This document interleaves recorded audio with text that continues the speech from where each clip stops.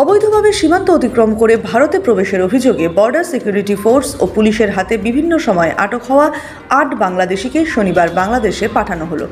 সাজা ভোগের পর প্রত্যেক বাংলাদেশিকে তাদের দেশে ফেরত পাঠানোর জন্য আদালত নির্দেশ দেয়। আজ উভয় দেশের আইনি প্রক্রিয়া শেষ করে করিমগঞ্জের সুতারকান্দির আন্তর্জাতিক শুল্ক বন্দর দিয়ে আট বাংলাদেশিকে তাদের দেশে ফেরত পাঠানো হয়।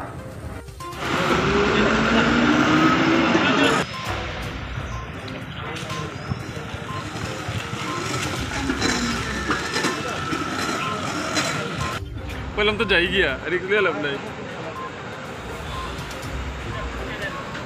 ফেরত পাঠানো বাংলাদেশিদের মধ্যে শিলচর কারাগারে বন্দী ছিলেন ছজন এবং কামরূপের জেলে ছিলেন বাকি দুজন।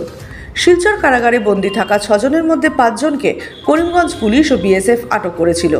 আদালত ঘোষিত সাজা ভোগের পর শনিবার তাদের সুতারকান্দি শুল্ক বন্দর দিয়ে বাংলাদেশের বিজিবির হাতে সমঝে দিল ভারতের বিএসএফ ও পুলিশ। এই টোটেল আঠজন আছে। আঠজনত কৰিমগঞ্জৰ পৰা পাঁচজন আৰু কাছাৰৰ পৰা একজন আৰু কামৰূপৰ পৰা দুজন। তাৰ ভিতৰত মহিলাগৰাকী কেই- কেইজন আছে? মহিলাগৰাকী একজন আছে। কেতিয়া ধৰা হৈছিল তেওঁলোকক? এইবিলাকক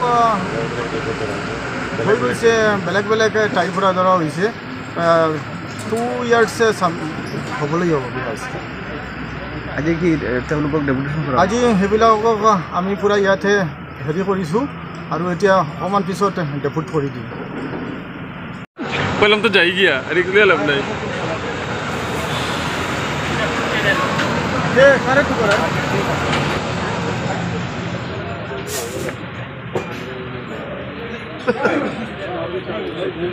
করিমগঞ্জ থেকে আজারউদ্দিনের প্রতিবেদন তরঙ্গ টিভি বাংলা।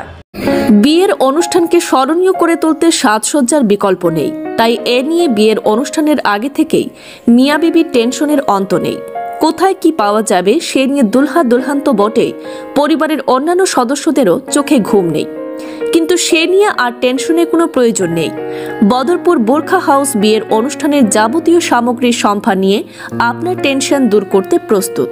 এখানে পাবেন বিয়ের শাড়ি, বিয়ের লেহেঙ্গা, শেরওয়ানি পাঞ্জাবি, ব্লেজার, বিয়ের বোরখা ইত্যাদি। সহজে পেয়ে যাবেন মন মাতানো সব সুগন্ধি। সম্পূর্ণ বিবাহের কেনাকাটার উপর রয়েছে আকর্ষণীয় ছাড়। সঙ্গে রয়েছে আকর্ষণীয় সব উপহার।